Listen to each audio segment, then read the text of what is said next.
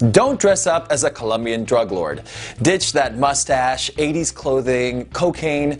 Really, that represents Pablo Escobar. Colombian people are very sensitive.